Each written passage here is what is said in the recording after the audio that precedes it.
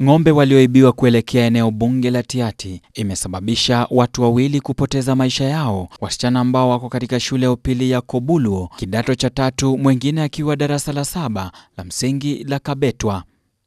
Haya yanajiri siku moja baada ya gavana wa Elgeyo Marakwet na mashirika ya usalama katika eneo hilo kuzindua ndege isiyo na rubani ili kuhakikisha kusaidia kukabiliana na ukosefu wa usalama kwenye ukanda wa Kerio. Mauaji hayo yamezua chuki upya miongoni mwa jamii hizo mbili ambazo zilikuwa na amani katika eneo hilo.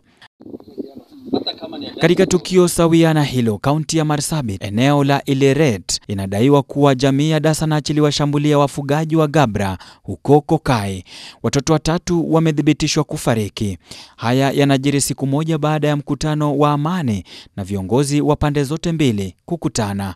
Three days ago, for two days, we had a peace meeting between the Dasanach and the Gabra communities who have been worried for the last 135 years. Mm. So we wanted to resolve uh, this long standing conflict so that uh, watu wakae pamoja vizuri bila shida yote waweze kutumia maji na malisho. Mm. Unfortunately, uh, so the second day uh, after we just concluded the meeting, Mm. uh, Gabra Hadas were raided by the Dasanach. Mm-hmm. Two, three young children, one of uh, between eight nine years, another one eleven, and a girl of fourteen years were killed. Mm-hmm. Uh,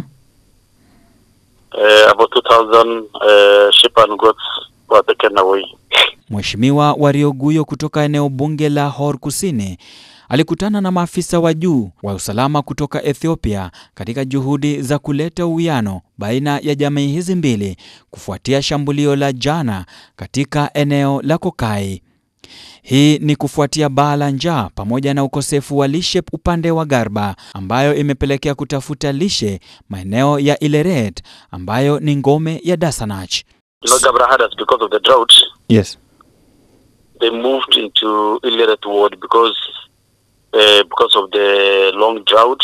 There's no pasture, water uh, in North Hor uh, ward. It's very dry, but there's been some light showers in Ileret. Mm. So pastors now, in the search of pasture and water, they moved into Ileret Mm. so that they're able to utilize the available pasture and water resources. Mm-hmm. So unfortunately, and we knew that, you know, once they come closer, anything can happen. Mm. because there's a long-standing conflict between these two communities, which has been which has lasted over 135 years. Mm. But now we said we need to really solve this this problem because we cannot live like this into the 21st century. Mheshimiwa Warioguyo yuko katika eneo la Ileret kujaribu kufanya mazungumzo na juhudi za uokoaji wa mbuzi walioibiwa. Kufikia sasa idadi ya mbuzi 232 wameokolewa kutoka kwa mikono ya wezi wa mifugo eneo la Ileret. So far, have you recovered any stolen stock? So far, we've recovered 309 Mm. sheep and goat, Mm. which is now in our custody. Mm. So, and we are planning to take it back to the Gabra Hadas. Probably the handing over could be done tomorrow. Mm.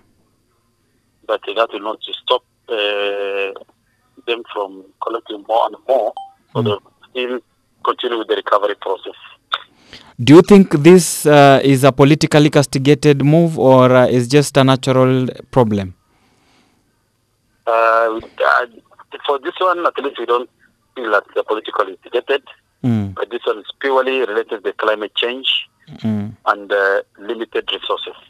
Rais William Ruto alikuwa ametoa onyo kali kwa majambazi na wezi wa mifugo, lakini imeonekana onyo hii haisikila mwadhini wala mteka maji katika asasi za usalama nchini. Nikiripotia runinga ya Ebru, mimi